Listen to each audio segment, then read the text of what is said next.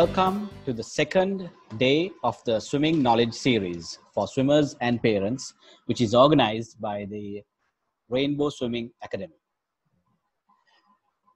First, uh, before we start, I would like to request everyone, other than the speakers, of course, to switch off their video modes.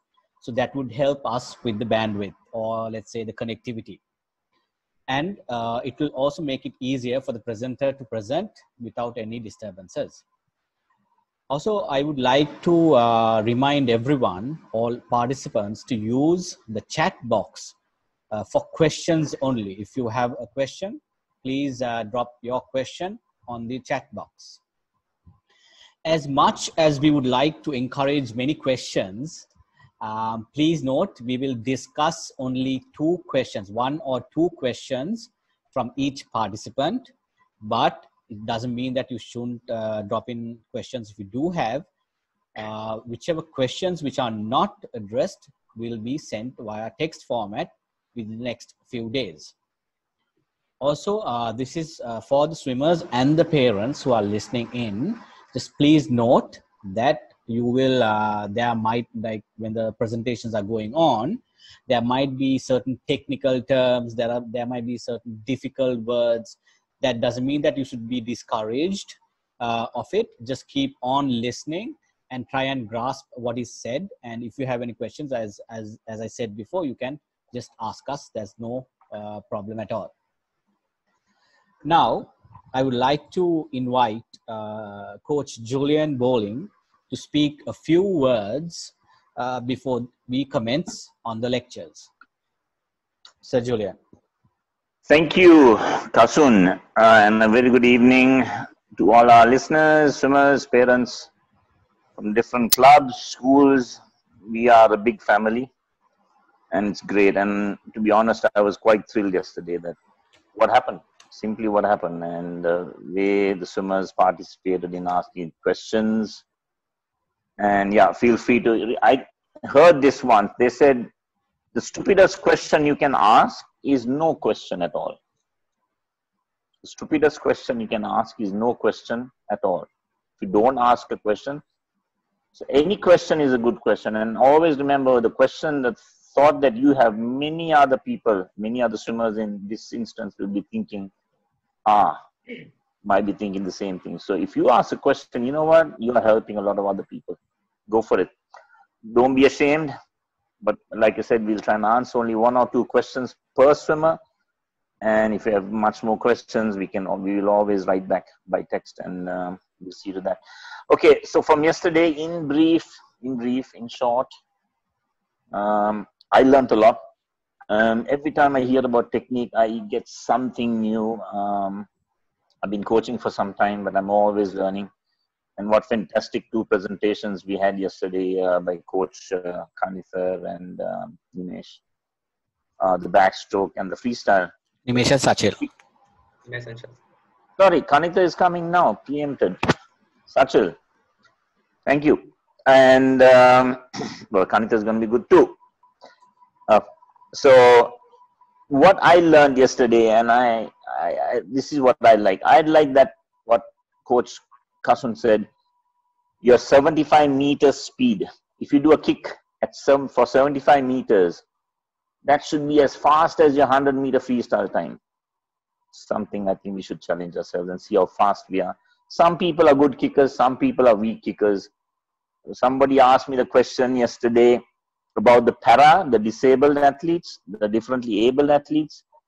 And I told you about the swimmer that I was able to coach Priyadarshana, who went to the Paralympics. He swam a 58 for 100 freestyle, one six, I think, 100 backstroke. And we had another boy in our team who was a national record holder in the 100 meter freestyle, who had a super kick in the race. But when he does his own freestyle kicking, guess who was faster? Priyadarshana, the disabled swimmer, the differently able swimmer, or Jamal, who is a 100 meter record holder believe it or not, Priyadarshana was faster. So sometimes we can be, may not be the fastest kicker, but we must, Jamal used to use his legs a lot. So it's always not that it will contribute 30% of your speed, but to keep that balance, keep that movement going, to connect the body, the kicks are important. Your 8 100s kick, I think young swimmers can go up to probably 400, 600, I don't know. We must do a lot of kicking on the clock. Um, Kasun, Coach Kasun said that water is heavier. Does anyone remember how much heavier it is compared to, I know you all can't speak out. We should have a little quiz at the end of this, huh? Who knows? Uh, 700 times heavier water is.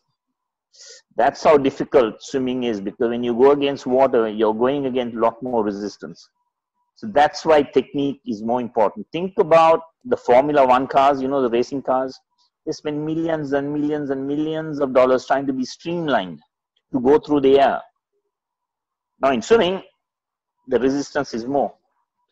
We got to actually work more, but yes, we are not going to spend the millions, but we are going to use our mind concentrate on technique and really work on it and we are going to improve a lot more what was the percentage if you improve 10% of your stroke your times are bound to improve by 10% now don't go to your coach and say hey coach i want to work on technique only and not my fitness that's not going to help you got to do your fitness but with your fitness if you improve your technique you'll have a proportionate amount of speed that you will generate. I like the word boiling water was used for backstroke and freestyle. Think about that backstroke, not an easy kick uh, stroke where you can kick. Work on that boiling water. So I like that one. The fact to use that word boiling water for both strokes. Um, was it Coach Nimesh and uh, even Sachil mentioned it? If you want to be a good swimmer, bother your coach. Uh, the better swimmers that I have coached are co swimmers who don't bother me for the sake of bothering. They will always ask me questions. They will always say, Hey, coach, check my streamline, check my entry. They're always trying to improve, and coaches are there. So you got to bother the coach, and the coach will be happy to help you. Okay, that's it. Ah, one more thing. While we pull the recovery, I like that word. Both Freestyle, we talked about a high elbow or a rainbow entry. Backstroke, we had a periscope recovery. Remember, you have to be totally relaxed during the recovery. Think about a pendulum. That's how relaxed your hand needs to be when you recover. So, Kasun, I asked for five minutes. Sorry, I don't know if I went over that, but um, let's go. Thank you, uh, Coach Julian. Right. Now uh, we will uh, move on to the first presentation. So actually uh, today we have three presenters speaking about stroke biomechanics uh, for breaststroke and butterfly. And then we have a discussion regarding starts and turns as well. So first up is Coach Kanitha Munasinghe from Rainbow Swimming Academy. Um, represented Sri Lanka uh, in swimming uh, as well as water polo. He also held the national record for the 50 meter breaststroke. He captained the Royal Swimming Team in 2012 and was the water polo captain in 2013. He was also part of the coaching staff at the recently concluded South Asian Games. He will be covering breaststroke biomechanics. Over to you, Kanitha. Right. Uh, thank you, Coach Kasun, for that brief introduction. I hope everyone can see me and I hope everyone can hear me well as. All right. Uh, first of all, guys, uh, hope everyone enjoyed yesterday's session with Coach Sachil and Coach Nimesh. It was a fantastic session and it's really good to see, really interesting to see, some good questions coming up. So I hope during these four to five days, it will be the same and the momentum will be the same. And we have some interesting topics coming up, coming up. So stay tuned. All right. So, uh, and also I would like, uh, like to thank Coach Julian for giving me this opportunity to speak on behalf of all of you guys, right? So let's straight away move into our topic, the breaststrokes of biomechanics. So guys, I started my career as a freestyler and a butterflyer and ended my career as a breaststroker. I don't know what happened, but I started loving breaststroke. Yeah, uh, maybe that's why today I choose this breaststroke topic as well. Okay, I'm sure there are a lot of breaststrokers in this call at the moment. Yes, breaststroke is the uh, slowest stroke out of all four strokes. and it seems to be pretty easy right? It seems to be pretty easy. But it's not the case guys. Breaststroke is the most complicated most complicated and the hardest stroke i have figured in my life out of all four strokes. All right? So if you want to be a good breaststroker you need to have the technique you need to have the timing proper timing strength explosiveness and also at the same time flexibility. If you have these five components you can definitely be a good breaststroker. So moving on to the first slide let's let's see the keyword progression keyword progression for breaststroke. It's kick and glide that's for your kick. Small pull and glide that's for your arms or the pull. Timing of the breathing and undulation right? So when I say undulation, yes, of course, senior swimmers might know what undulation means, but the junior swimmers might be, might, it, it might be a bit difficult for them to understand what is this word, new word, undulation. So guys, undulation means the hip movement, the same hip movement we try to do in butterfly. You all remember, right? Your coach asking you to bring your hips up during the butterfly. So in breaststroke also, we want everyone to, in nowadays, we want everyone to bring their hips slightly up from the water. So that's what we call the undulation, something very similar to butterfly hips. If we talk about the mantra, in breaststroke, we have two mantras, guys. One for pull and one for kick. So I'm going to show a bit of action here so you can clearly understand uh, what I'm talking about. If you talk about the pull, all right, in the slide it says I to the Y. So the, this is letter I. So if I stand like this, you can see a letter I, right? So I keep my body like this. This is letter I to the Y. So this is letter Y. If I stand like this, you can see me as a Y. So I to the Y, scoop, scoop means the pull, then thumb lead. You need to bring your thumb in front, thumb lead and shoot. Or some coaches call it as lunge forward. So I to the Y, scoop, thumb lead and shoot or lunge forward. That's the mantra of pull. And mantra for kick is, again, let's take my elbows as my knees and my wrist as my ankles. All right, these, these are your legs. So you bend, flex. Flex means turning your ankles. You need to have a good flexibility for this. Good flexibility. Flex, circle, that means push the water back and squeeze. Squeeze your glutes, squeeze your legs and toes pointing. Again, I'm showing it. Bend, flex, turning your ankles, circle, push the water and squeeze or uh, pointing your toes. So that those are the two mantras for breaststroke. Let's move to the next slide. So guys, here I am going to talk about the BLAT, which we already talked about yesterday, and even Kasun, Coach Kasun uh, gave introduction about BLAT. So I'm going to go through each and every letter, and I'm going to uh, talk about one common error I see in swimming industry and a correction drill for that. All right. So if you take about B, the body, the body has to be flat in breaststroke, just like an arrow all right? Like like sir julian said water is 700 times 700 times heavier than air. So you are you, you are dealing with something very heavy. You need to be streamlined. You need to be like an arrow to move forward. So the, the body has to be flat and chin close to the chest. All right? The common error i see here is popping their head up. You can see in the first picture itself.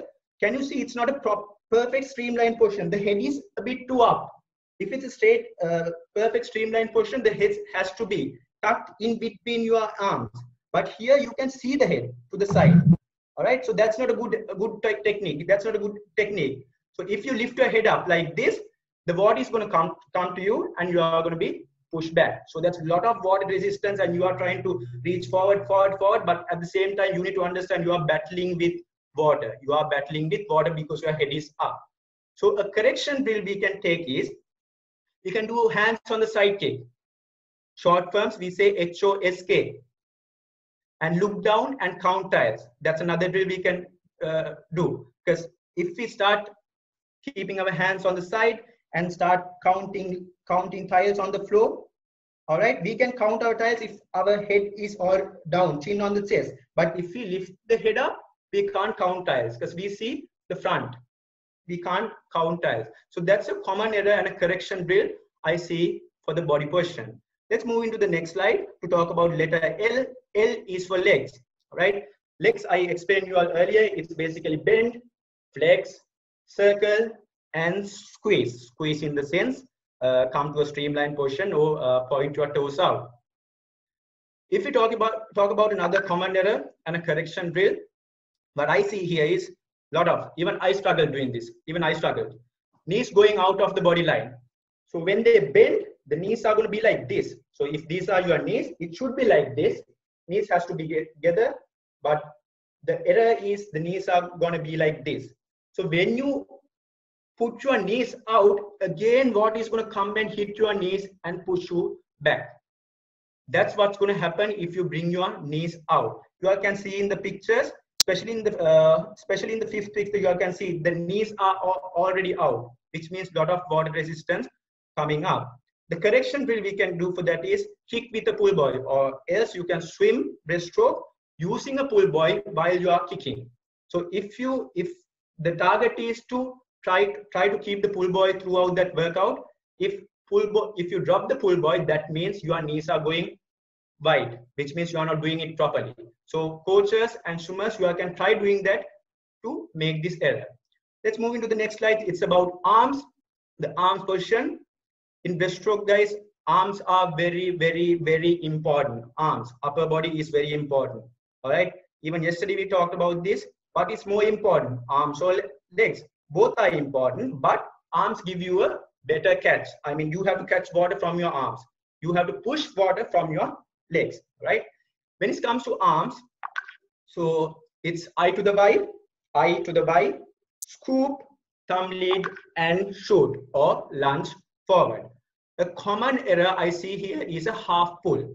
That means, guys, in breaststroke, in, in scientific term, in breaststroke, you need the power is generated from this 45 degrees of angle, the first 45 degrees. That means uh, I to the Y position. All right. You need to catch a lot of water in this position to bring it all the way up to your body.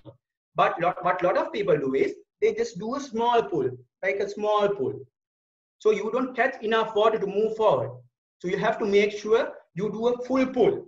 Catch, make, make sure the first 45 degrees is very important. Catch more water as possible and bring it all the way back to your body and come lead and lunge forward or else jump forward.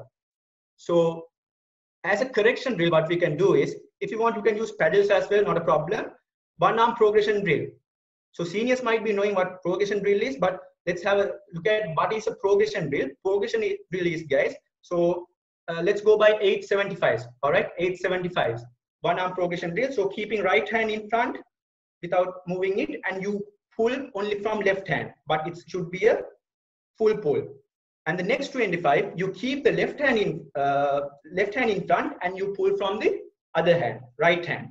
And the last 25 has to be both arms. So you you memorize what you did in the first two 25s and you apply that drill to the last 25 and make sure you get big, big drills you must ask your coach to look into it whether you are doing it properly or not. Because sometimes in the water you might feel ah, I, I think i'm doing it properly but you might not. So always take guidance from your coaches when you are doing drills.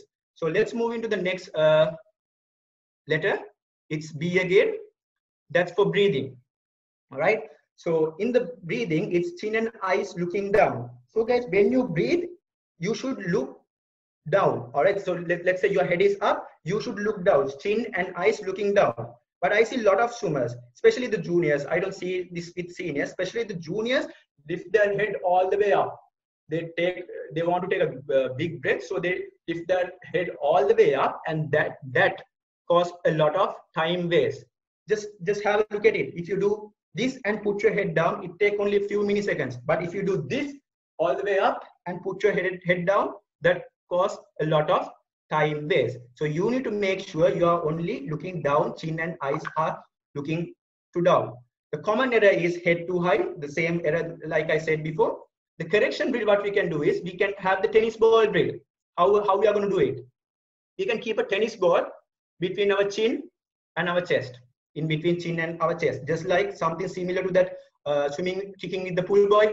So you have to make sure the tennis, you are not dropping the tennis ball when you are swimming. If you lift your head up all the way up, you are going to drop the tennis ball.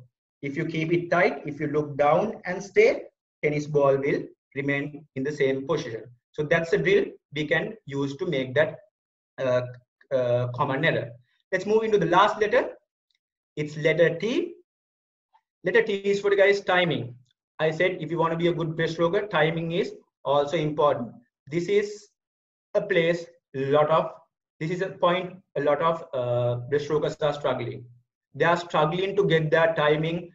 Until I finished my swimming career, I didn't find the proper timing in my breaststroke. To be honest, even though I even though I broke a lot of records, I didn't find a proper timing. So you have to keep practicing, get, get guidance from your coaches and keep practicing this timing. This is very important for your speed, for your endurance, and for everything.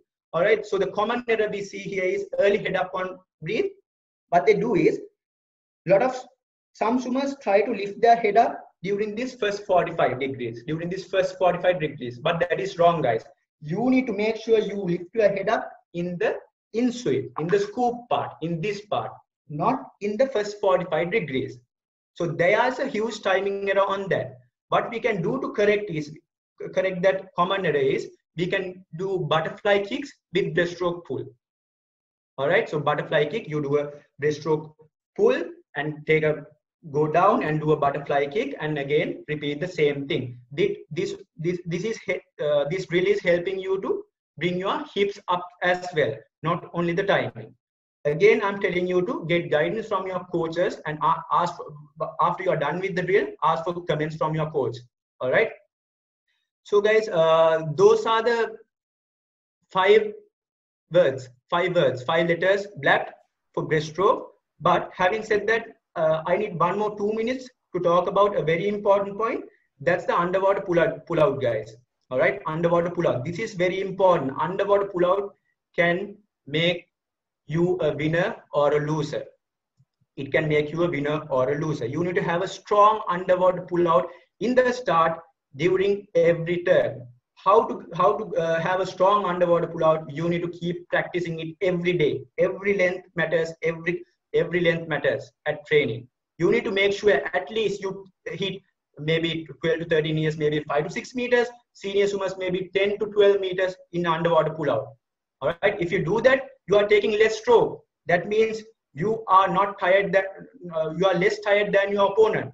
You are to, uh, taking less stroke and at the same time you are doing a lot of underwater more than your component that means you are not that tired all right and the other thing is when you're doing the underwater pull out guys especially be careful especially in the start. A lot of people i see a lot of people get disqualified because of this issue. They do two underwater kicks two underwater fly kicks and start doing the underwater pull out. It is not it's not right guys. It has to be in two ways. Number one is you can do the underwater pull out and the fly kick.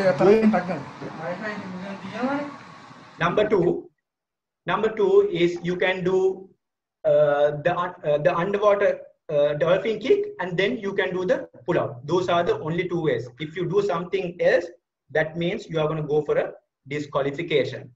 All right. So and also the, the last point, guys, make sure if you want to be a good breaststroker, all right, it's for me it's all about the underwater pull out and stroke out.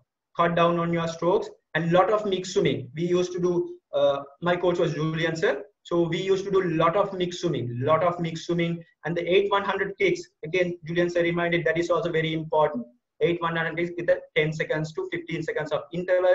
And also for leg work, to have a powerful kick, I used to do, we used to do a lot of uh, breaststroke jumps in the water. When butterflies and freestylers are doing vertical kicks, we used to do a lot of breaststroke jumps, even with the weight. So having said that, you can do all these things, but the last request I'm going to ask you is make sure you go and talk to your coach.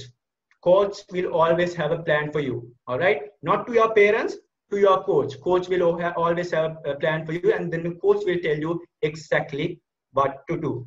So that's all about breaststroke, guys, a basic biomechanic introduction. If you have any questions, you can uh, direct your questions now. And some lot of interesting topics are coming up. Stay tuned with us. Thanks again, guys, for listening. Thank you. Over to you, Coach Kaju. Thank you, uh, Kanitha, for that informative presentation. Uh, as uh, Coach Kanitha said, uh, if you, I think uh, there are several questions which has already come in. So if you have any questions, please uh, do not hesitate to uh, mention that in the chat box. Right. right. Now we move on to the next stroke, which is butterfly. My personal favorite stroke. Presenting the biomechanics of butterfly will be Shehan Dasanayake, one of our young and upcoming coaching prodigies. Shehan was part of the Josephian swimming team. Attached to Rainbow Academy, he coached the St. Thomas College swimming team and now is a coach at Visakha Vidyalaya. He is also a talented musician. Thank you, Shehan, for being here. Over to you.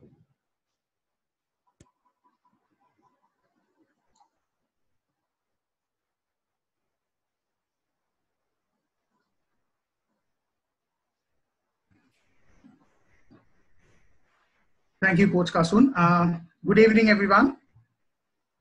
First of all, I would like to thank uh, Sir Julian, Coach Kasun, and all the coaching staff uh, who helped to get everything uh, into this, and also uh, for giving this me opportunity uh, to sh share some knowledge with our young athletes. moving on to my topic today, I will be talking about the biomechanics of butterfly stroke by using the BLEP, uh, which was also used by uh, the previous coaches in explaining uh, freestyle backstroke and breaststroke. Over the past decades, uh, the stroke technique has changed a lot from time to time uh, with the emergence of good athletes such as Michael Phelps and many more. Uh, moving on to the first slide, there are keywords for the progression of butterfly 2, such as timing of breathing, big hips, and followed by the kicks and finally the arms or the pull. You can also practice the progression by using a mantra as mentioned here. Fingers front, fingers down, fingers back, and then the swing, which is your recovery, and finally squeeze, which is your entry. So I will take you through each one of these actions separately in the upcoming slides. Uh, let's move to the next slide. Yeah, uh, out of the five main body actions in a stroke, body position is one of the important factors you should master to have an efficient butterfly. Majority think uh, butterfly is a short axis stroke, uh, as in breaststroke, that you have to move your body up and down. But in butterfly, the scenario is very different because uh, uh, as, uh, as you have to maintain a more horizontal body uh, position to drive your body in front by minimizing the dragging effect or the resistance. So uh, more when a front breath is taken, when you breathe into, uh, when you take a breath in butterfly, most of the swimmers, they try to bring their shoulders out of the surface and also by bringing your shoulders out, it will actually distract the body position or the streamline position of your body by uh, bringing your body position to a 30 to 40 degrees of elevation. So to prevent this, we should focus more on the posture, line and the balance of the body as I have mentioned in the slide. Uh, uh, said that uh, butterfly is the coordination of head, chin, hip, and your legs. So I would like to uh, mention, I would like to name butterfly as a four body stroke uh, uh, stroke because we use the head, the chin, and the hip, and also your legs to do a butterfly stroke. So moving on to the common errors, you can prefer swimmers, most of the swimmers, they attempt to achieve the rocking effect of the butterfly, butterfly by folding both and both upper and the low bodies from their hip. So uh, by doing this, uh, I think most most of the swimmers they will lose their core stability. They will uh, try to lower the hip, and also it will actually eliminates the uh, balance in your stroke. Uh, and I think this error is the most. I think one of the main reason why most of the butterflies have injuries on their back.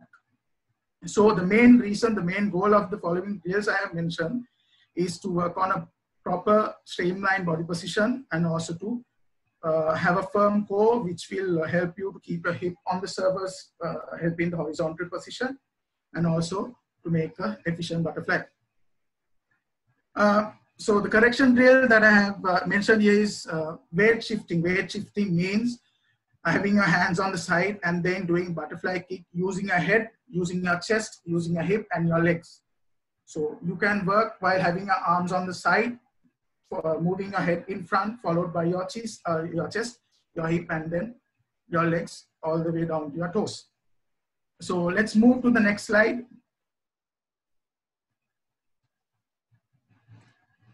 Yeah, legs uh, is the second segment of block. In butterfly, uh, your kick is always using both the legs together. And then the main point that you have to uh, have in your mind is butterfly kicking is not horse kicking or kicking using your knees. It's all about kicking starting from your head, chest, your hips and your legs. So it's always a full body uh, movement starting from your head followed by down your legs. So in a butterfly, one cycle, one arm cycle, you have two kicks where both the kicks have to be same, equal in power and size. Both kicks have to be equal in power and size. That is more important. So when you ask, uh, you, you might have a question where to kick. I mean, in a, in, a, in a one arm cycle, where do you have to kick those two kicks? So the first kick is when your arms are at the top in front of your head, just before you start pulling. And the second kick is when you pass, when your palms passes your belly button and bring it up to your hips. First kick, when your arms are at the top, just before you start pulling. Second kick is when the palm, uh, palms passes the belly button. So out of these two kicks, I think most of the swimmers, butterflyers, the second kick they try, they feel hard to do it.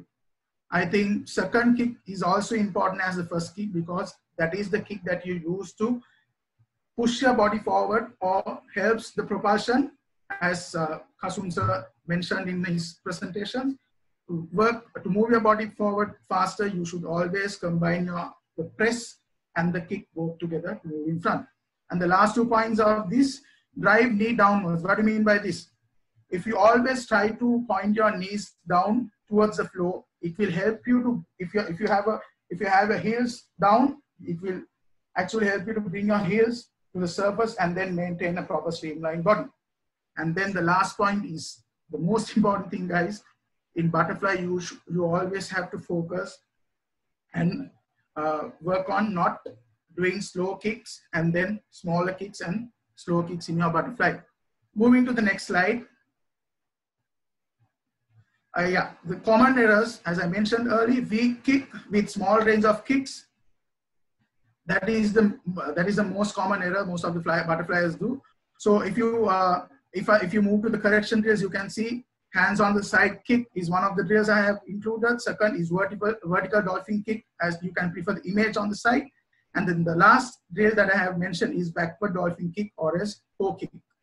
So these are three drills that you can work uh, to work on your kicking. You always have to keep in your mind, guys. For propulsion of butterfly, 70% of your arms, 30% of your legs, both will get together and bring you 100%. So your arms and your legs both are important in this case. And relax, but guys, if when I mention the word relax, it, it doesn't mean that you have to do your recovery slow. Relaxed arms, but fast arms. The faster you bring your arms in front, the faster you can start the next stroke. So recovery arms relaxed, but make sure you drive your arms faster. And one more thing before you finish your entry, I have pointed out here, your heads, or before you drive your arms from your recovery position, your head should go under the surface and then only you have to follow through your recovery and then enter in front of your shoulder or to the shoulder width. Your heads should go inside water before you enter. That is one main point. And also in entry, guys, you always have to focus. You always have to have a control entry. Your palms facing down in your entry, not to the side. You can't face your palms to the side in your entry. Your palms should face to the ground or to the surface and then you should enter in front of your shoulders. You call this shoulder width entry, not a narrow entry. You call this a narrow entry, but you always have to uh, enter just in front of your shoulder. I have put a bold, uh, I have put a sentence, I have uh, put a point uh, using bold letters. Prevent palms passing the hips in seat. What do you mean by this? As I mentioned, after the press position, then comes the recovery, but before the recovery, guys, as soon as your palms reach out your hips or the thighs, you should start doing your recovery instead of pressing much your much uh, pressing your palms more to the sky. So as soon as your palms meet the hips, you should start recovery instead of pushing your palms all the way up to the sky. Hope everything is clear in this slide. Let's move to the next slide. where we talk about the common errors.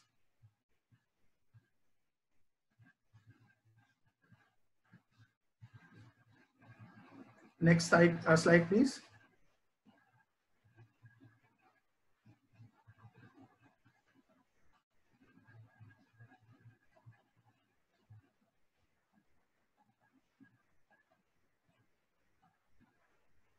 Yeah, so uh, common errors in butterfly arms, entering outside the body line, not entering in front of your body, and then pulling to the side, not having fingers front, fingers down, and then recovery having uh, bent elbows instead of straight arm uh, will be a few uh, errors in your arms in butterfly.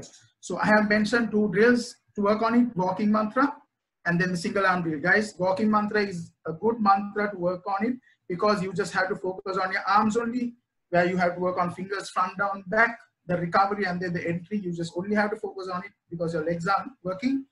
And also the one arm drill is also very helpful because you just have to focus on one arm at a time because you're doing one arm, single arm fly drill. Those are two important drills to work on your arms. Moving to the fourth uh, segment of BLEP, which is the breathing. Yeah, breathing uh, keywords, uh, you can name it as chin and eyes looking down. And then guys, when it comes to breathing, most of the uh, uh, swimmers have a question. When we should start breathing? When we should start, what is the point that we have to start doing or taking a breath? So in that question, I would like to answer that question this way. So you start breathing or your inhalation takes place as the arms complete the up sweep and begin to recover. To, uh, if I'll make it more simple, as soon as your palms passes your belly button and just before you start your recovery position, you should raise your chin. Please uh, listen to this very properly. I'm not telling to raise your shoulders. I'm telling to work on your work on your chin. So using your neck muscles, when you have a head down like this, you raise your chin to the surface, almost touching the surface not your shoulders, and then take a nice controlled breath and then move to your recovery. So breathing happens as soon as your palms passes your belly button just before the recovery. And again, the conclusion of your breath should be face should return back to water before the arms, as I mentioned earlier. That is one important point. And this question is also one of the main questions most of the butterflies have. How often you should breathe? Either every stroke or every other stroke. This question actually depends, guys, according to the capability or the ability of the swimmer or to the strength of the swimmer and also the pace of the stroke. So if you work more on your core and if you're stable enough, you can stick to every other stroke breathing. But if you are still a learner, you can stick with every stroke breathing. Let's move uh, to the common errors of this uh, segment. Head and chest too high, and then second is head, head up in entry. I mentioned these two points in the slide also. So if you prefer the first image in this, you can see the first image with the cross. It will clearly show the gap between the shoulder and the water surface. And again, the gap between the surface and the chin. You can see there's a huge gap. But if you consider the picture with the correct mark or tick, the chin is almost touching, uh, the surface, grazing out, and your shoulders are just above the surface, not having a huge gap. So if you check the image that I have included right uh, on the right side corner, on the top it's uh, Mark Spitz, who was, a, who, was, who was an Olympian back in 1970s. And then next is Michael Phelps. You can see, you can call this as, uh, as an evolution of butterfly also. You can see the difference between the techniques of these two swimmers. Uh, all right, let's move to the last segment of this block.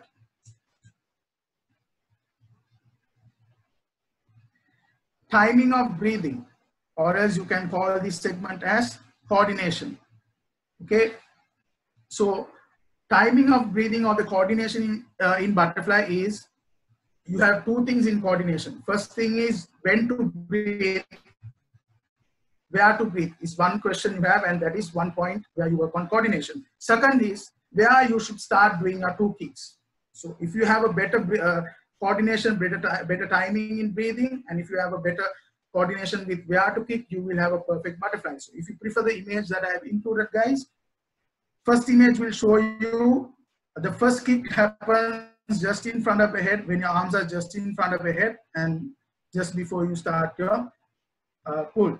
Second image will show you the second kick happens as soon as your palms passes your belly button. So that shows you the coordination of your kick, where to kick. Moving on to the next slide. As I mentioned earlier, working on kick is also coordination and also the time of breathing, where, where you should start breathing is also the, is the next uh, coordination you have to work on. So as I mentioned in the breathing slide, you should start breathing as soon as your palms passes your belly button and just before you start your recovery. So these are few key points that you have to keep in your head if you are working on, if you if you want to make a proper coordination in butterfly. Hips up on entry uh, pace. What do you mean by this? You should always have big hips in your entry. As soon as you enter your arms inside water, you should bring out your hips with huge hips working on undulation, perfect undulation. And also the second point, big kick in push phase. This is the second kick I'm talking about. You should have a strong kick in your push phase, which will help you to, uh, which will help for the propulsion of butterfly with the use of your arms plus the use of your kick. So uh, common errors, the swimmers attempt to kick and pull at the same time, and then second tend to miss out the second supporting leg kick as the arms recover. So coordination, about coordination, you can work on these two. Uh, first is the breathing where to breathe. Second is coordinating your arms, uh, coordinating the uh, two kicks in your butterfly. Correction drills, I have included fly arms with freestyle kick and breaststroke pull with fly kick. Now swimmers might wonder how to do these two drills. Fly arms with freestyle means you don't have to think about your butterfly kick. You just have to focus on your arms only. So you do freestyle kick using uh, fins and then work on your arms on concentrating on your arms. Coordination of upper body, you work on this drill. Second drill, if you start with the second drill, it will help you to work on the coordination of your lower body where you have to do breaststroke. You don't have to think about your arms, you just have to think about your lower body kicking coordination. Uh, so these two drills, you can work on your upper body and lower body separately if you want to have a perfect coordination. So one main thing I will, uh, I will uh, conclude my presentation with this. Butterfly is combination of your head, your chest, your hip and your legs. So always coordination is more important. If you have a better coordination, you don't have to waste your energy and strength. It's all about working on your coordination to get a get an efficient butterfly. I think uh, I'm done with my presentation right now. I think most of, hope uh, every all the swimmers got some uh, new terms and got some uh, new ideas regarding butterfly. Uh, thank you everyone. Thank you all the participants today. Uh, being here. Hope to answer your questions in the final segment. Thank you, everyone. Over to you, Coach Kasun. Coach Anius, over to you. Thank you very much, Shehan, for your insightful presentation. Uh, apologies on the previous delay while the presentation was going on, where Coach Kasun had to face a technical difficulty with the power failure with electricity. So anyway, let's uh, move forward with the final presentation for today, which is starts and turns. Next, we have the bubbly and enthusiastic Mr. Imran Mohomad. Coach Imran has been attached to Rainbow Aquatics for nearly eight years now. Prior to joining Rainbow, he was stationed in Dubai for a couple of years. He successfully oversaw the Musaeus College swimming team for several years.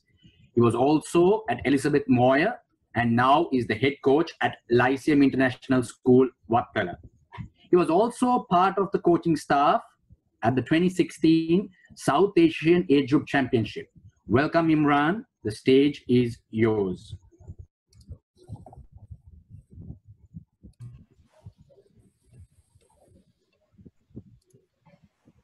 Thank you, Sean, for your wonderful introductions.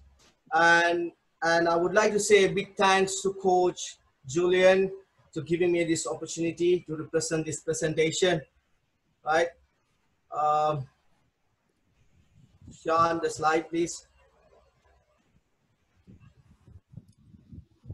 So guys, uh, today I'm going to talk about uh, the all the four stroke starts and turn, right? Which is very important in your swimming career, right? So let's see what are the further progressions. So if you want to really rock on uh, on on the block, right? Next slide. So the main key points I like to talk about the what are the progression of the the starting position and the progression of your push when you dive and, and the progression of your entry, right? These are the main progression we are going to talk, right, without failing. But the most, I mean, our main focus and the goal, right? You don't want to see the splash when you dive, and you don't want to make a splash, and you don't want to hear the splash. Remember the your focus and your goal when you dive if you want to make a beautiful dive and prove yourself and one of the best diver in the in the world right next slide please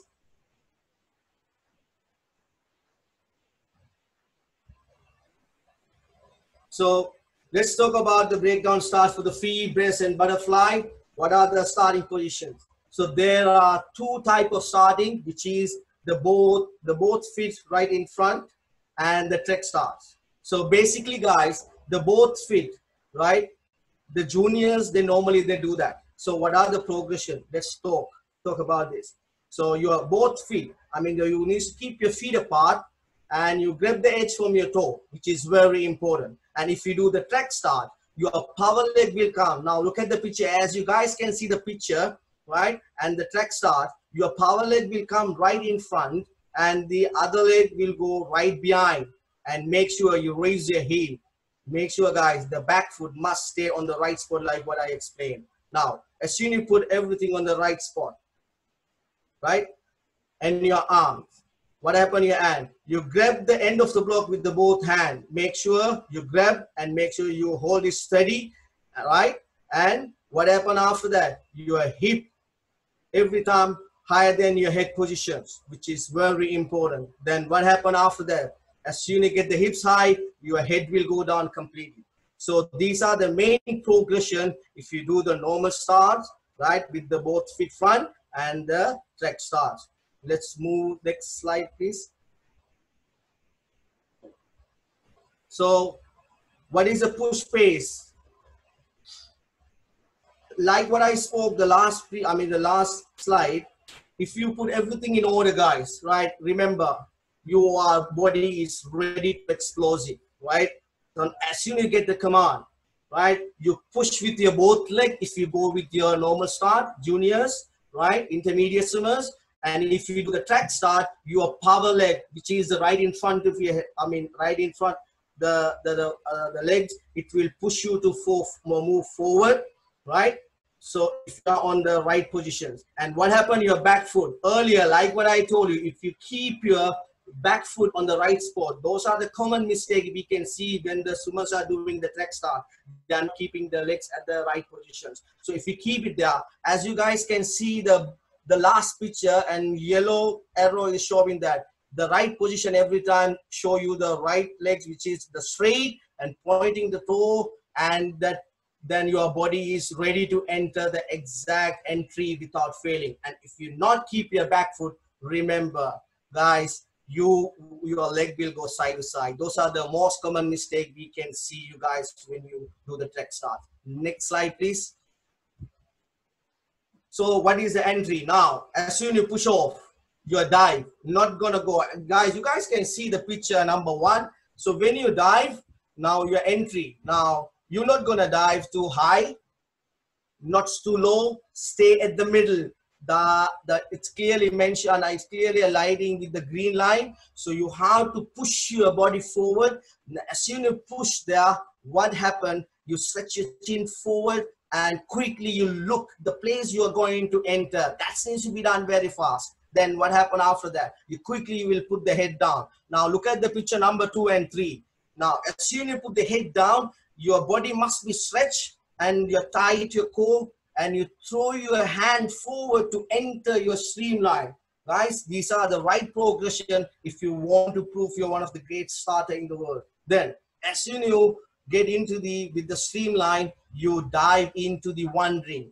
What are the progression of the dive into the one ring? You dive, your arm will enter first, and your head will enter second, your hip will go third, and your leg will go last. So if you put everything in order in one ring, no splash, and one of the greatest diving in the in, in your progression. Now, something in interesting part, the last one is as soon as you dive, you basically we are something interesting to make our children, our swimmers to to do the progression of the underwater kick. What do we basically we say that when you dive, you glide and you wait, right? Then what happened? As soon you wait, then you do the whale kick. Look at the picture. It's clearly mentioned that. And you do the second kick is going to be the dolphin kick. And the third kick is going to be the flutter kick. And you start to do the breakout. So these are the progression, guys. Today, I'm going to talk a lot about this underwater kick progression because these are the area we are really, really weak. And every single day we are fixing our swimmers, right? So next slide, please. So the backs looks start. Guys, look at the picture below. The middle one, the middle picture clearly say that the white stone hold the bar. The bar, you must, when you hold the bar, your arms are straight, must be right in front of the shoulder. Not, do not keep your hands together. You will not gonna get the full range when the, when you get the command. And the next, what will happen? Your head, then, while then as soon as you get the command, what happen? You gonna bend arm, right? Now you can, you guys can take a picture number one and number three, both side. Then you see the bend then head must be go down and make sure you relax and wait for your command to get the steady pace until that you will keep your body relaxed. Then what happened your leg?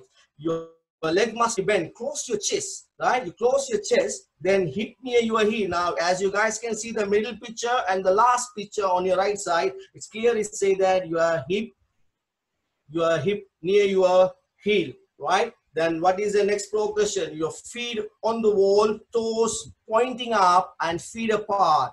Feet apart, it's depend on the, the swimmer's flexibility and if they, they, they have a different, if you have a comfortable with, I mean, if you want to keep your feet together or if you want to keep little feet apart, so you have to talk and communicate with your coach to get the explosive done, right? Different swimmers, different flexibility. Then you have to find it there. But make sure when you keep your feet on the wall, it must be on the water line, not too high, not too low, right? So these are the progression of the starting positions. Next slide, please. Then push space on the command. Now, you guys can see the below picture on your left side. As soon as you get the command, now what happened? Arm throw over your head for the streamline. You throw your arm over your head and what happened your leg will give you the maximum power if you keep your right position on the wall, right? Uh, like what I explained before. Then what happened, number picture number two, your head will go back, then you arch your back. Picture number three, how, guys, you have to look this picture, how look beautiful is it?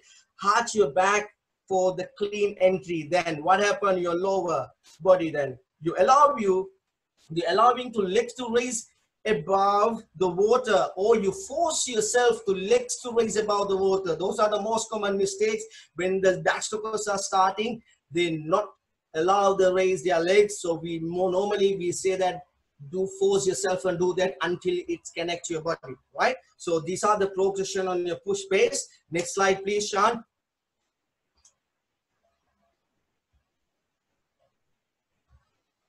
So entry, like what I told you before the previous slide, as soon you push and push off, right? You dive into the one ring. When you dive into the one ring, remember your arm, head, and hips and feet needs to be going in order without failing, right? As soon as you dive, you dive, you glide. Remember, guys, you wait, you do whale kick, number one, and you do dolphin kick, number two, and you flutter kick and start carry on with your swimming with the coordinations right these are the progression of the backstroke so um let's move to the turns for all the strokes so there are there are key points I want to talk about. The basically, guys, when we do the turns for all the strokes, so there we focus normally stroke count from flag to the wall and wall to the flag, which is very important, guys. If you're not taking your stroke count to fly to the wall. So especially the backstrokes, I'm gonna tell you guys, you are the first person to looking behind the wall. So make sure your stroke count is very important, right? And the right number. Then the quick in and out. You need to be more proactive when you get into the tumble turn, right? You can't do it. and the most common mistake, but we what we are normally seeing that most of I mean I mean many swimmers they're doing during the workouts they swim so fast when they get close to the wall they do tumble like easy. So please don't use your turns like as a recovery or easy. Don't give loose that. Even if your coach asks you to swim easy right you can swim easy but when you get into the wall react fast which is very important. Good example reaction. I have a tennis ball on my hand. If i throw fast to the wall now imagine how fast it will come back to me that's the same thing I want to put it back. What? You throw, you get into the wall, hit the wall, and you come back like a tennis ball, right? And the third one is going to be the breathing, the good breathing mechanism, right? So you need the right amount of breathing in your lungs, and you, you have to have a control when you have to do your underwater kick progressions according to your distance, right? Remember these things. And the underwater kicks mean the FINA rule allow you to do them exactly the 15 meter. So we need to get the maximum of credit on that. Next slide, please. So let's talk about the breakdown for turns for the freestyle, right? Now look at the picture number one, T mark. Basically, the seniors will do one pull to the wall when you get the T mark, and the juniors they do two pull to the wall, right? And what do we focus next? If we're not going to breathe inside the T mark, which is very important, then no looking at the wall, right? As soon as you get into the wall without looking, then you roll the quick turns and you place the both feet to the wall, right? You, what do we do? Place both feet to the wall and toes point in the sky and your hand over head to streamline. Knock the head off and the chicken wings. That's a quick one knock the head off. If I take the arms like a chicken wings, can I knock my head? That is completely wrong. Now I'm not wearing a cap. I'm going to take what? Knock the head off and you go back to the streamline. These are the basic to make every swimmer's life easier to in, I'm easily can understand and most of the time we are successful on these things when we are giving an example every time, right? So as soon you knock the head off, what happened? You push, you glide, and you wait and you do the whale kick and the dolphin kick and the flutter kick and you do the breakout. So these are the breakdown for the freestyle turns. Next slide, please. So let's talk about the backstroke. Guys, look at the picture underneath. Stroke count, flag to the wall. Earlier, like what I told you, if you do not count the stroke from flag to the wall, you will make your strokes ugly and you will look at the back of the wall. So you need to get the right amount of the stroke count. Then as soon as you get into the wall, you take one pull and turn your stomach. You take one pull at the same time you roll, turns. As soon as you get the turns, you knock the head off, not the chicken wings. You knock the head off, right? And what happened? You push your toes point into the sky and you push, you glide and you wait. Then you do whale kick and the dolphin kick and the flutter kick with the streamline without losing, right? So these are the breakdown for the backstroke. Next slide, please.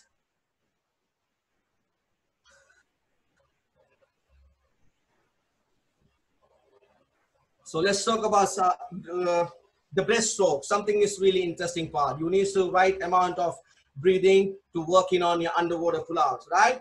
Uh, they, and also this is something interesting part. Our children they really love it. We we do this one like a mantra, something. I mean to get more interaction to, and also we. I mean the children are learning very fast. We call that like mantra: touch, jab, call your mom, and you push now, let's talk about what is touch. Touch mean now, look at the picture number one. Touch, make sure you touch with the both hand, your arms are straight, your head is down. When Make sure when you touch, you touch the water line, not the by the edge of the pool.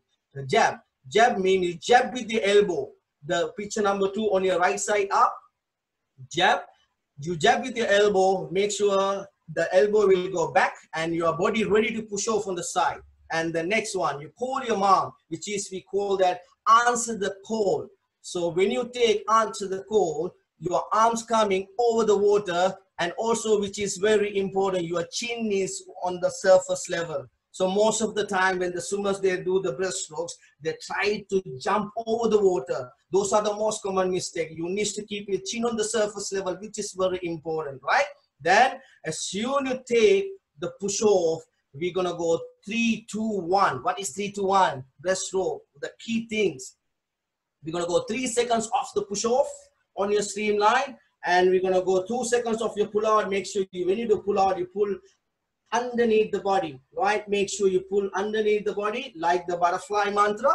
Then you push all the way back. As soon as you push all the way back, you wait for two seconds. Then the one second is gonna be you squeeze and you shoot and go to the wide positions, right? So when you do squeeze, normally we're not gonna take the arm outside the water. If you take the outside the water, remember you are the, the resistant person in your underwater out. Every time the last one, squeeze and you shoot. Take the arms underneath and squeeze and you shoot and go back to the wide positions. These are the progressions of the breaststroke starts.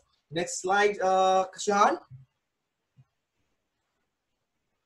Uh, the butterfly strokes. Same like the last stroke, like what I told you, but a little bit of different. Only the underwater kick will change. Get the right amount of air to working on your underwater kick, right? So now what happened?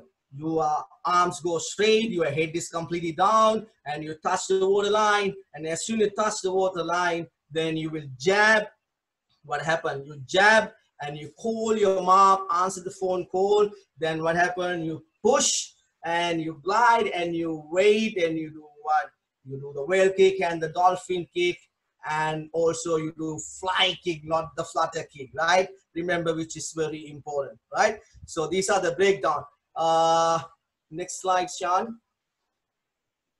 So the IM turns, fly to back, back to breast, best to field. Same like what I talked to you before the last previous slide, a little bit of changes on your turns. So I'm gonna move a little bit of uh, fast. I believe you guys can understand more than what I'm explaining that, right? Let's talk about fly to back, like touch and pace, same as a butterfly. You touch with the both hand, this is very important. And your head must be down. As soon you push, as soon you touch, then you will jab, you call your mom and make sure you're you push off on the side and make sure you push off on your back, not on the stomach. Juniors, you have to watch this very carefully. These are the area during the IM, most of the swimmers I get the disqualifications. You push off on the side and turn it on your back not on the stomach. And you will get the underwater kick progression. Push, glide, and wait, and you whale kick and dolphin kick and the flutter kick and your breakout, which is very important in your in your swimming career. The underwater kick, guys. Remember that. Next slide, please and I am back to this counting stroke. Earlier like what I told you right amount of stroke and your arm must be straight right? And you touch the wall and what happened? As soon as you touch the wall you bring the legs backward quickly to the wall and you take the push off on the side and move into the stomach and you push off with the streamline with the three seconds and you take the pull out. When you, when you take the pull out, make sure you pull underneath the body and make sure you wait for two seconds. As soon as you finish and you squeeze, not gonna take outside. You take the arm squeeze and you do shoot and go back to the little finger on the top and the strokes. So these are the progression. And one thing I want to hit, there's another one more turn. We say that the uh, crossover flip turn. So most of our intermediate, junior national, senior national, they do that. Some of the juniors also, they do that more initiatively, right? So what do we focus? As you guys can see the top picture, your arm straight, right? Your head all already down and back and stretch. Then as soon as you touch, you bring your knee to the chest and roll back and you push. Then what happened? On the, on, on, on, on the stomach and you're gonna go three, three, three seconds off on your push and two seconds off your pull out and the one second on your shoot without failing. So these are the breakdown for back to breast. So next slide, Sean, please.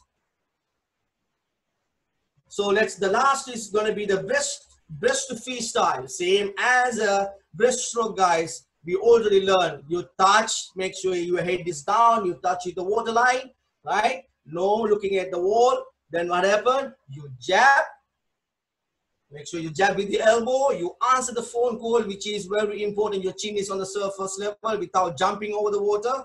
Then you push off on the side and you glide and you wait and you go whale kick and you go dolphin kick and you flutter kick and which is very important in your swimming career, right?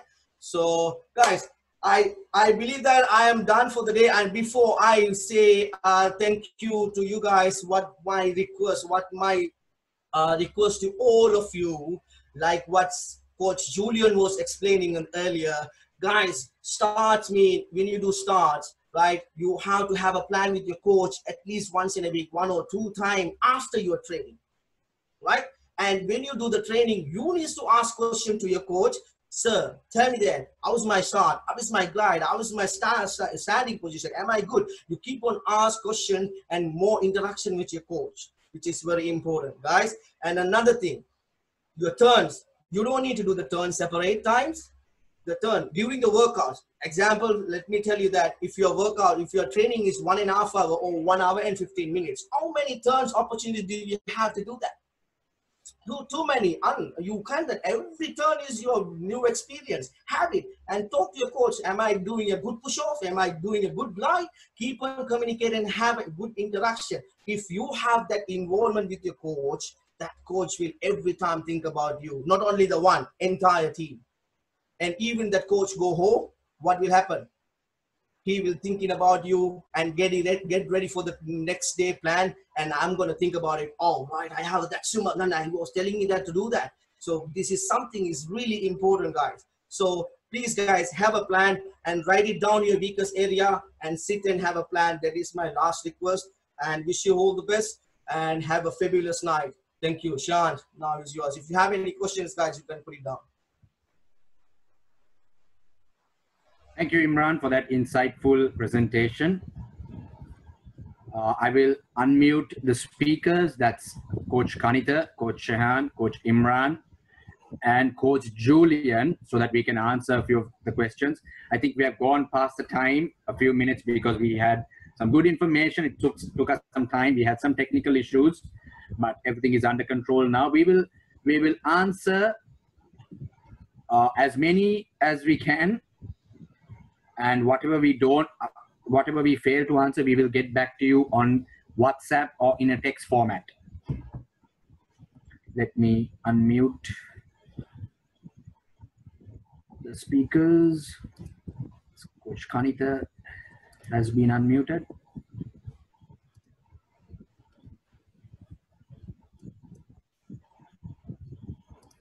Coach kanitha i'm trying to unmute you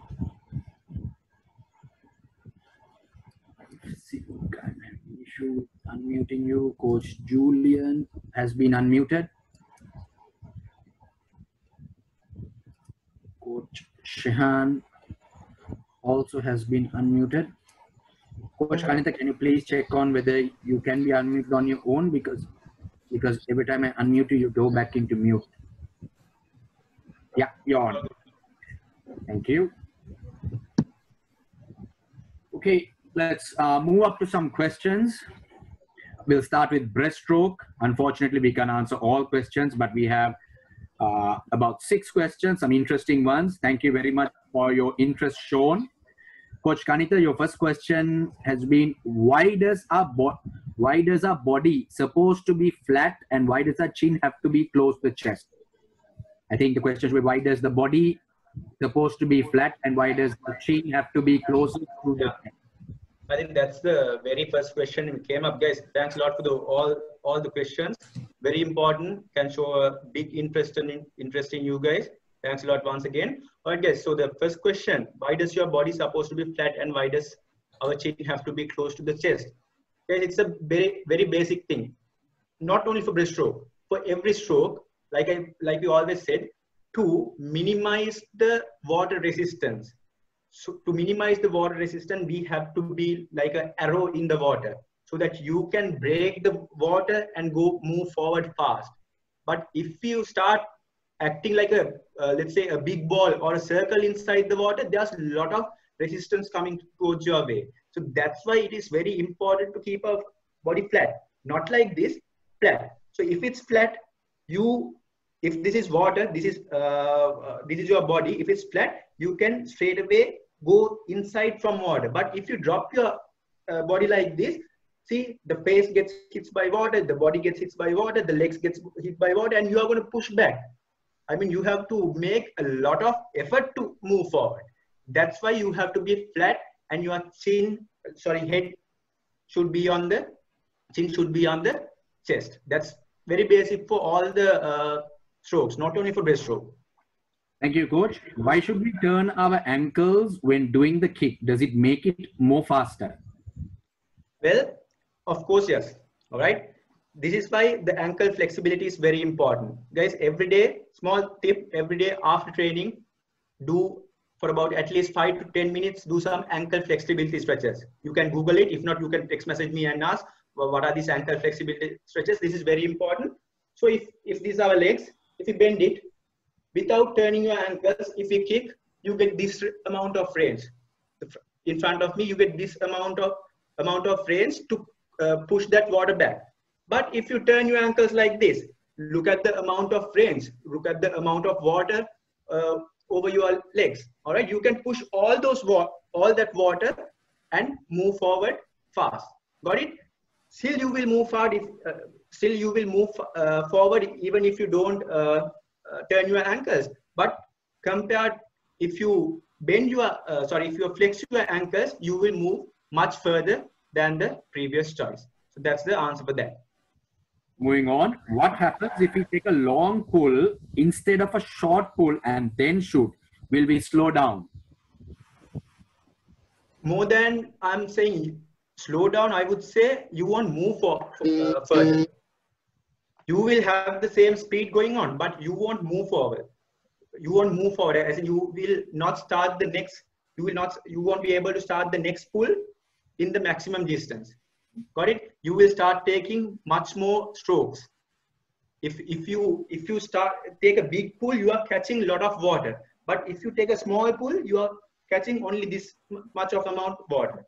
So you will you you will have that speed going but you won't move you are not going to move that further and you are going to take a lot of extra strokes to cover that 25 or whatever the distance so always make sure to cut down on strokes to make sure you have a big pull. You have a clear big pull to catch that water into you. Thank you. When I do breaststroke, I don't seem to go forward, even when I kick my hardest. Why is that? So guys, it's not, not only about kick. I told you kick and the pull and the uh, uh, rhythm. Everything is very important. What we can do is guys, I, I, I cannot give a proper uh, answer for this because this can be one of your technique issues. This this can be one of your arm issues. We don't know. What you can do is you can always go to your coach and say, "Sir, look. So guys, this is this is something we do at Rainbows. Your assistant coach is your camera. Your coach's assistant coach is your camera or the tab. You go near your coach and say, "Look, coach, uh, I have some issue. I'm not moving forward uh, further. Can you uh, explain me why is this?" So coach can ask you to do a swim and coach can video record you. From that video record, guys, trust me, you can find out, out lot of lot of issues in your techniques. It can be a kicking error, pulling error, or a head position error, anything. So what you can do, the best result to get, what you can do is go speak to your coach and ask him to do a video. And this is very important for all the coaches as well. Because step or the phone or the whatever the camera can be your assistant coach uh, on the deck. I go to the final question, Coach Kanitha. Uh, when racing, how long do we glide for? If we glide too long in in training and racing, will we slow down? Uh, honestly, guys, it depends on your race. All right. If you are doing a 50 meter race, if you are doing a 50 meter race, you can cut down on the glide. If you are doing a 200 or 100 or 200 races, yes, of course you need glide. All right. Uh, watch some videos on YouTube how Olympic swimmers are swimming. Just count their stroke uh, stroke count. For a let's take one swimmer. Let's take Adam Peaty. All right, and he's doing 50 and 100 breaststroke. Count his strokes for the 50 meter breaststroke and count his stroke for the 100 meter breaststroke in his first 50 you can you will see a big difference. I mean for 100 he's slowing down slowing down the tempo and the uh, glide. Uh, no, sorry improving the glide but he's slowing down the tempo. That's to save energy. So it actually depends on your race.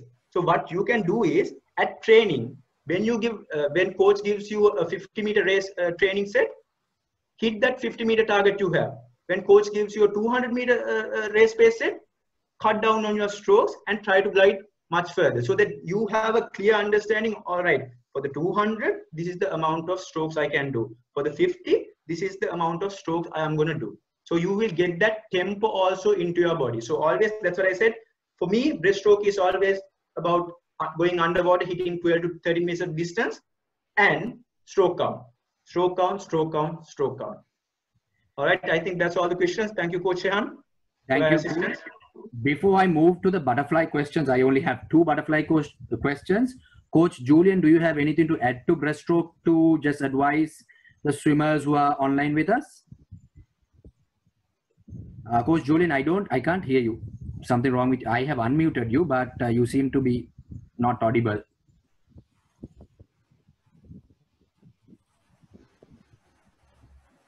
Mm.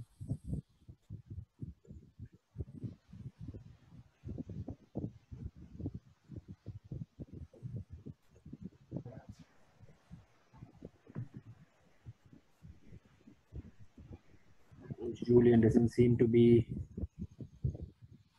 All right, Coach Julian seems to have a connection issue as well. So let's move on to the butterfly questions. Coach Jan, the yeah. first question I've got is, what's the difference between keyhole pull and diamond pull? All right, yeah. Uh, I think it's better if I can show uh, some pictures regarding the two uh, pulls. Yeah, are you free to share the screen, please? Thank you Yeah, go with it. Um,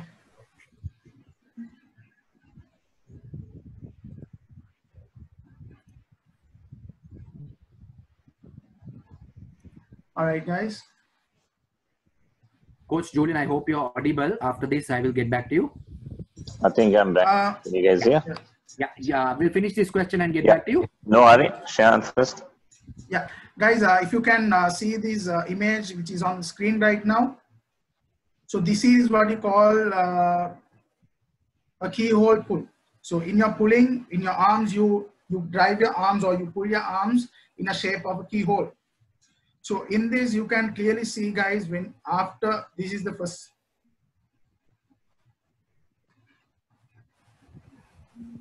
Somebody seems to be drawing. Coach, you'll have to clear it, please.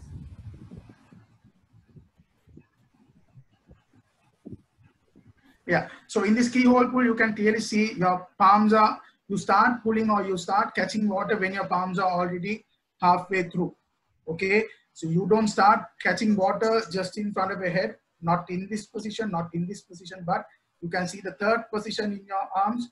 You start pulling uh, when your arms are in the third movement in the picture.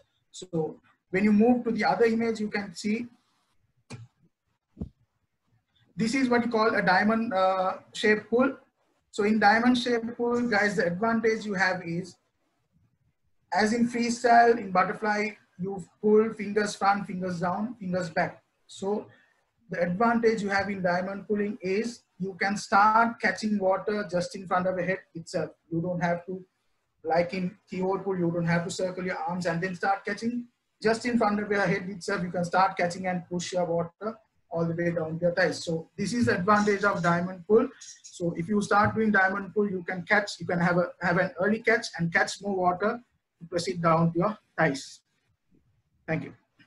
Thank you, coach. Next question.